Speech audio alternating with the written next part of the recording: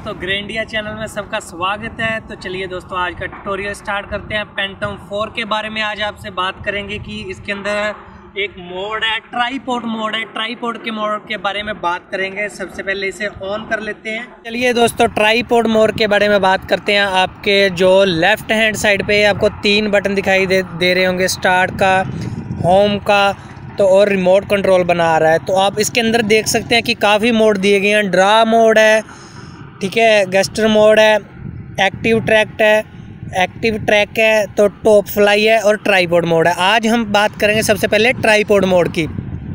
तो tripod mode on करने से क्या होता है, जब हम ये ड्रोन फ्लाई होगा, जब हम इसे एक्टिवेट करेंगे, जब इसे उड़ाएँगे, तभी ये मोड ऑन हो पाएगा। देख सकते can not use the function without take off जब तक हम इसे टेक ऑफ़ नहीं करेंगे, तब तक ये मतलब ट्राईपोड मोड ऑन ऑन नहीं होगा ट्राईपोड मोड तो चलिए दोस्तों, इसके बारे में बताता हूँ, ये ट्राईपोड मोड है क्या? है तो इसे पहले उड़ा कर दिखा लेते हैं कि उड़ा लेता हूँ मैं इसे इसे बंद कर देता हूँ.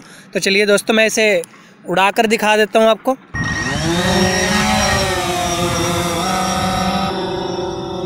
तो दोस्तों, जब मैं आपको दिखा रहा हूँ कि जैसे ट्राईपोड मोड अभी ऑन नहीं किया हमने तो ट्राईपोर्ट जब ऑन नहीं करते हैं तो हमारा ये बिल्कुल स्मूथ नहीं होता। इसकी स्पीड है 72 किलोमीटर पर आवर्स एक घंटे में अगर मैं इसका बटन आगे करता हूँ, देख सकते हैं। अगर मैं पीछे करता हूँ, देखिए, बहुत स्पीड होती है इसकी। अगर मैं इसको ट्राईपोर्ट मोड को ऑन कर देता हूँ ट्राईपोर्ट मोड जैसे ही ऑन करता हूँ मैं ऑन हो जाएगा।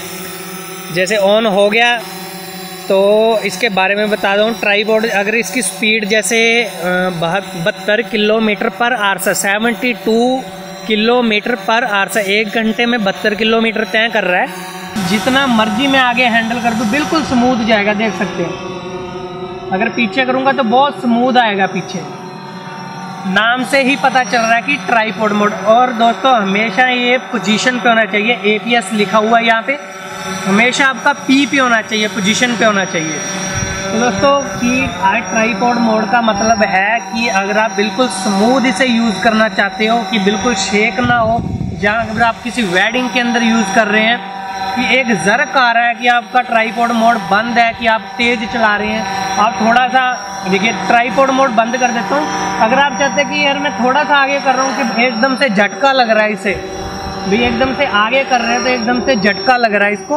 अगर आप चाहते ये चीज़ ना हो तो आप ट्राईपोड मोड ऑन कर सकते हैं तो स्मूथ बिल्कुल देख सकते हैं। बिल्कुल इसे झटका नहीं लग रहा है, और कोई मतलब देख सकते हैं आप। कितनी स्मूथ तरीके से लेफ़्ट राइट जितना मर्ज़ी आप इस हैंडल को घुमाएँगे, बिल्कुल भी नहीं है। देख सकते हैं, बिल्कुल स्मूथ चलेगा। तो ट्राईपोड का मतलब है कि ये इसे बिल्कुल स्मूथ चलाने के लिए है ये। तो मैं इसे लैंड कर देता हूँ।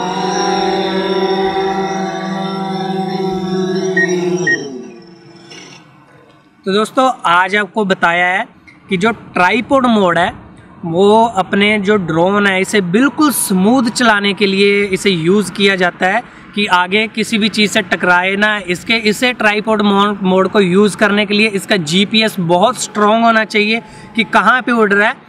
तो ये मोड यूज़ कर सकते हैं। कई बार हम वेडिंग्स में होते हैं कई ऐसी सिचुएशन होती है कि हम यार हमसे इतना थोड़ा सा भी ज़्यादा है ये पेन आगे हो रहा है तो बिल्कुल एकदम से बहुत फास्ट चल रहा है। इसे स्मूद करने के लिए आप ट्राईपोड मोड का इस्तेमाल कर सकते हैं। बहुत अच्छा है और इस, इसका हमेशा आपका ये पोजीशन पे होना चाहिए। एपीएस जो है आपका पी पे होना चाहिए पोजीशन पे होना चाहिए।